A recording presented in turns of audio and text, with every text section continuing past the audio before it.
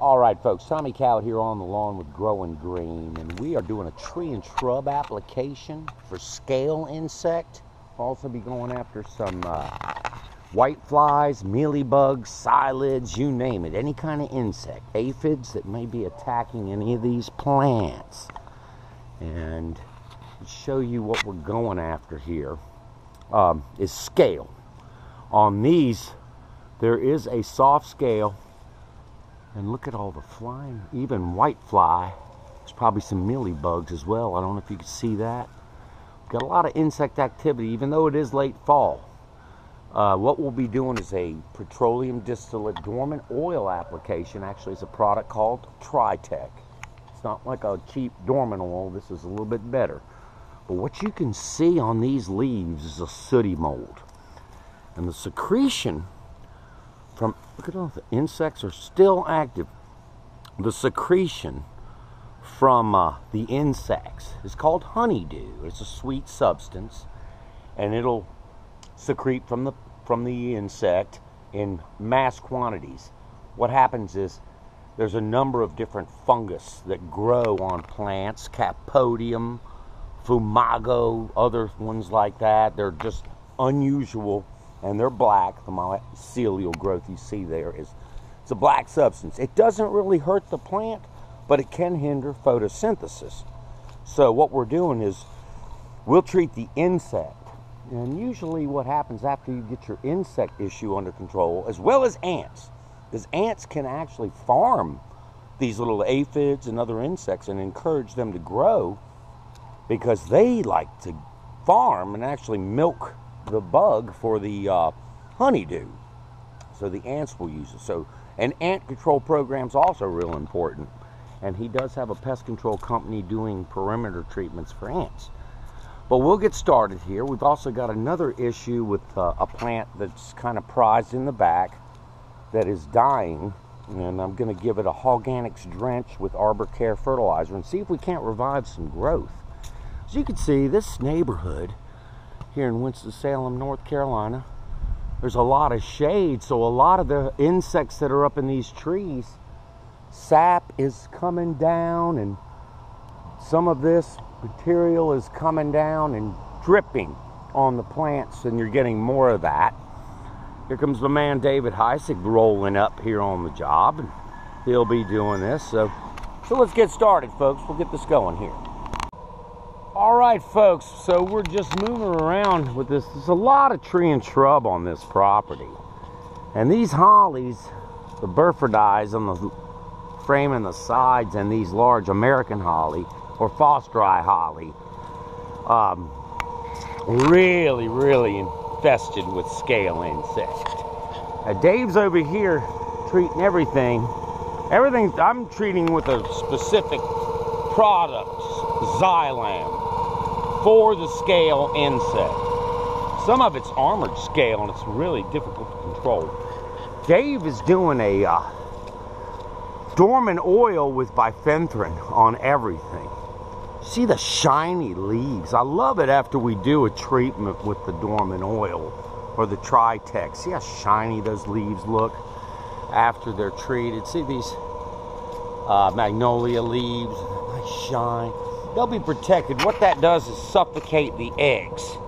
Over the winter, the oil will cover them up and actually cause them to desiccate and dry out. They will no longer be viable. I'll take you back here and show you what Dave's up to back here. All right, folks. All right, folks. I want to show you a different type of scale insect that we're seeing here. If you can look closely on the branching of these Otto Luyken laurels and see how sick they're looking. They're really anemic. And that's from that armored scale that's on that foliage. And it's just devastating these guys. Just sucking the life out of them. So that's really going to go a long way to help that. Action camera, action Jackson, action David. The robot. He's doing the robot dance. White flies flying out. Oh man, I really love the way that uh, petroleum distillate oil shines those leaves. Makes them look really pretty. Leaves are coming down. You got them all oiled up. Oil them up, Dave. Gotta be careful getting in on those windows. He's don't want to get too close to him. Now we did a Xylam treatment on all this as well for the scale. But now we're coming back with, you know, over the top of that with the dormant oil and the bifenthrin mixed in. He's just getting good penetration. Getting that good penetration.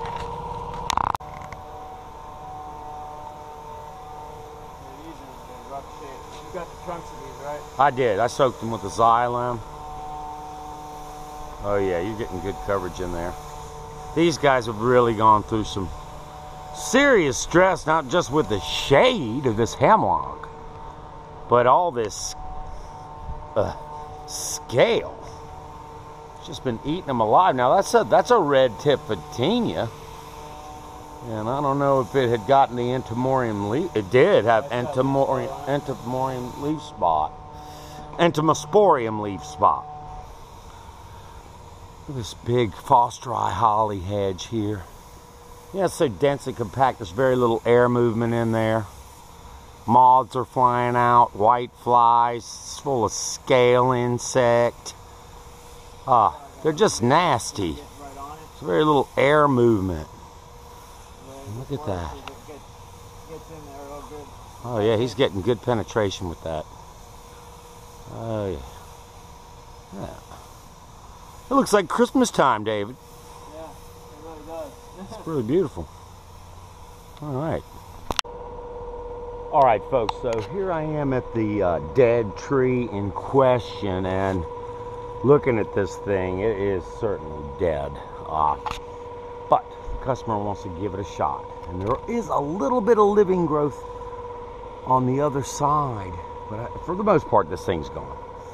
Uh, these are some hollies, as you can see, more of a rotunda type holly. As when we get down here, we're looking at more of a needle point holly, and this was a needle point holly. So what tells me that this tells me is this drainage issue coming down that it's actually coming off of that patio and it gets beyond this first holly here and then the water starts to make its way down into this area now there's another retaining wall here so this guy's actually been protected where this guy's getting the brunt of all the moisture so you know we're developing an anaerobic condition here so that's pretty much what's going on. I'm going to do a drench with Holganix and Dynazone fertilizer.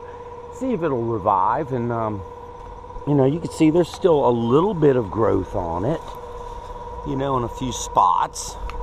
Actually, that is the uh, Rotunda Holly that has a little bit of life left in it. We'll see if we can't get this thing to revive. You know, if anything can do what Holganix can. All right, folks, we're going to do a little drenching. All right, here we are. Here's the tree I just treated. As you can see, Dave's up here in the back, and he's already treated. I no, I don't think he's treated that yet. He's getting in there and getting good penetration with that JD9 handgun, and uh, really soaking them down really good. All right, Dave, looking good.